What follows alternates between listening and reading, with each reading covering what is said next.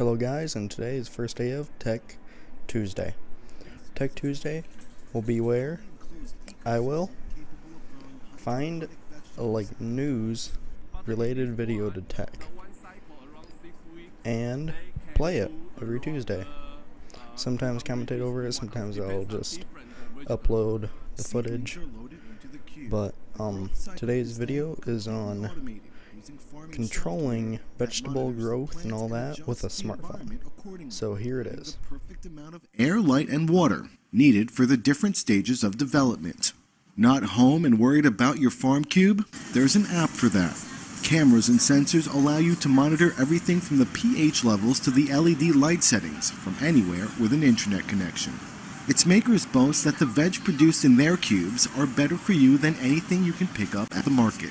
Uh, all water 98% can recycle. And uh, also all water with a UV light purified. So it's very safety. Even our vegetable no need to wash. The company also makes the farm container. The solar powered multi cube system can grow 2,000 plants at once. Enough lettuce to feed an army of vegetarians with big appetites.